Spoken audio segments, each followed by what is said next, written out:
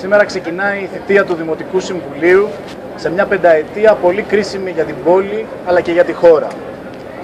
Ο δικός μας ουσιαστικός όρκος ως εκλεγμένοι Δημοτικοί Σύμβουλοι και Κοινοτικοί Σύμβουλοι με τη Δημοτική Παράταξη Ανοιχτή Πόλη είναι στην ουσία αυτός ο οποίος, το συμβόλαιο το οποίο συνάψαμε με τους πολίτες της Αθήνας καθ' όλη τη διάρκεια της ε, προεκλογικής περίοδου και καθ' όλη τη διάρκεια των 8 ετών που υπήρξαμε ως δημοτική παράταξη, ως ανοιχτή πόλη μέσα στην πόλη.